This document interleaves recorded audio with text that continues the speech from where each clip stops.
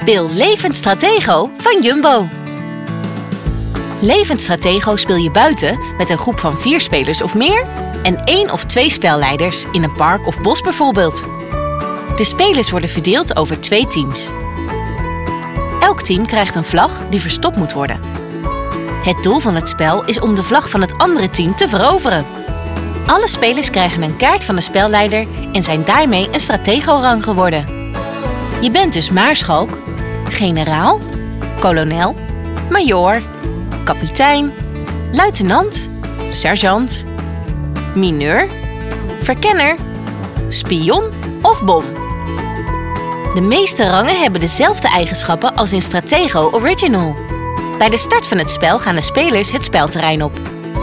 Als je een tegenstander aantikt of door een tegenstander wordt aangetikt, dan moeten jullie allebei je kaart aan elkaar laten zien. De hoogste rang wint het duel en krijgt de kaart van de tegenstander.